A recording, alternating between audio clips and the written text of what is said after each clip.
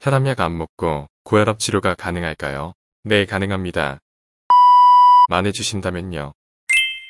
안녕하세요. 건강한 정보만 쏙쏙 골라 알려드리는 메이크 프렌즈입니다. 오늘은요, 고혈압에 대해서 이야기할 건데요. 얼마 전에 구독자분이 사연을 보내주셨는데 혈압으로 스트레스 받는 분들이 공감하실 만한 내용인 것 같아서 간단히 소개하면서 시작해 볼게요. 안녕하세요. 46살인데 건강검진에서 혈압 수치가 높게 나왔었어요. 그래서 약은 처방받아서 먹고 있는데 약을 먹고 제도 혈압이 안 잡혀서 큰일입니다. 고혈압이 만병의 근원이라는데 못 잡고 있으니 정말 답답하네요. 약 없이 낮출 수 있는 방법이 있을까요? 혈압 때문에 약 먹다가 갑자기 끊으면 큰일 난다는 얘기 많이 들어보셨을 텐데요. 맞는 말입니다. 왜냐하면요. 혈압약을 드시면 혈압이 낮아지고 일정하게 유지가 되는데요. 그거 아시나요? 원래 사람의 혈압은 계속해서 바뀌는 것을요. 그래서 혈압계로 측정을 하면 잴 때마다 바뀌게 되는데 그게 원래 혈압이 계속해서 바뀌기 때문인 것이에요. 약을 먹으면 혈압이 아주 일정하게 유지가 되는데 갑자기 약을 끊으면 어떻게 될까요? 몇 달, 몇 년을 매일 드시다가 갑자기 끊으면 혈압 수치가 크게 움직이게 될 텐데 그럼 머리가 핑 도는 겁니다. 왜 그럴까요?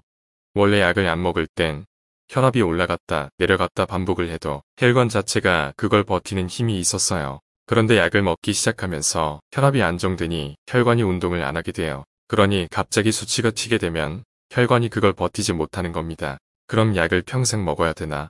아닙니다. 혈압이 오르는 분들은 대부분 1년에 한 두 번만 오르는 게 아니죠. 나이가 들면 들수록 동맥경화증도 오고 계속 혈압이 올라요. 동맥경화증이 오면요. 혈관이 심하게 막혀서 쉽게 뚫리지도 않아요. 그러다 보니 한 번 먹으면 약을 계속 먹을 수밖에 없다고 하는데요. 하지만 세 가지만 지켜서 생활하시면 서서히 끊어낼 수 있어요.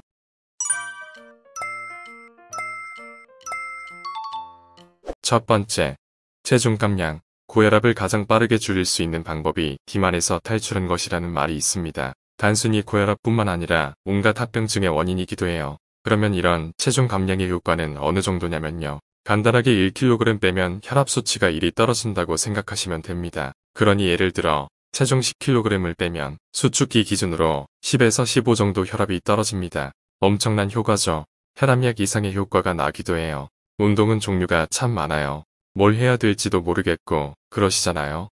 그럴 때는 유산소 운동 하나만 집중해서 해보세요. 하루에 1시간 이상은 해주셔야 되고요. 간단하게 걷는 운동부터 시작을 해보시면 어떨까 싶어요. 혈압이 엄청 높은 분들은 운동을 하면 혈압이 더 오르게 되니 운동보다는 식단을 먼저 조절해서 살을 먼저 빼주시는 게 좋고요. 걷기 운동이 싫으시다면 수영을 배워보세요. 발목이 아프고 무릎이 아파서 운동을 못하시는 상황이라면 수영하는 게 도움이 될 수 있거든요. 나이가 드신 분들이 하기에 관절에 큰 무리도 없고 괜찮거든요. 근데 이것도 싫다 하시면 집 안에서라도 걷거나 훌라후프 같은 간단한 운동을 해주시는 게 좋아요. 결국 중요한 것은 조금이라도 움직이시라는 겁니다. 체중 감량 측면에서 제가 드리고 싶은 말씀 한 가지는 너무 빨리 빼도 안 된다는 것입니다. 대부분 이제 다이어트 하시는 분들은 살 빼는 게 너무 괴로우니까 단식을 하고 무리하게 운동을 해가면서 딱 몇 킬로를 빼고 그 다음부터는 쉬고 싶어 하는데요. 의학적으로도 단기간에 많은 체중이 감량되면 오히려 간 수치가 올라가서 건강에 좋지 않아요. 그러니 뭐든지 꾸준히 오래 하시는 게 좋아요. 두 번째, 배시 식단. 나트륨은 고혈압의 주된 원인이라는 거 아시죠? 그래서 우리 식탁에서 줄이는 게 좋은데요. 이때 고혈압 해법으로 주목받는 식사 방법이 바로 이것입니다.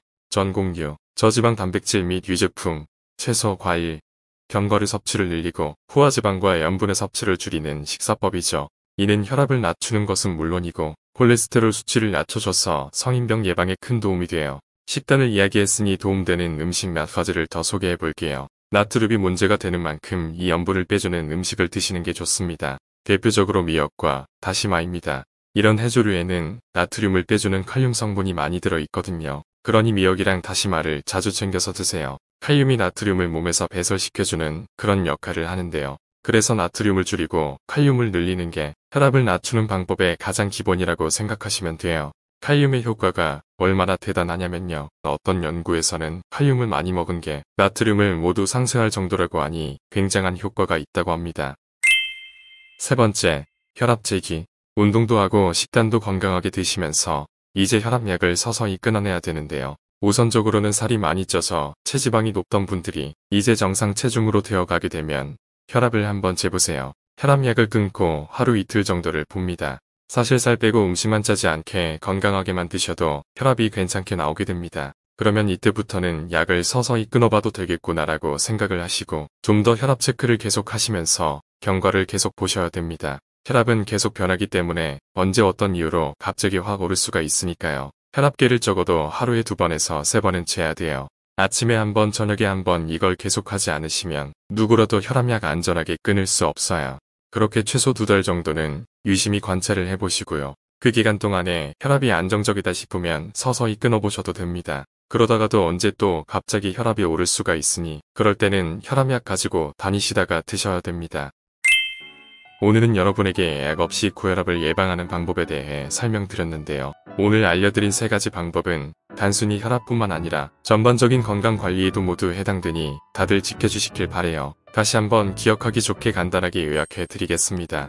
첫째, 체중 감량 1kg은 혈압 수치 1을 낮춰준다. 둘째, 칼륨은 혈압 수치 낮춰주는 1등 공신이다. 셋째, 내 상태를 아는 것이 가장 중요하다.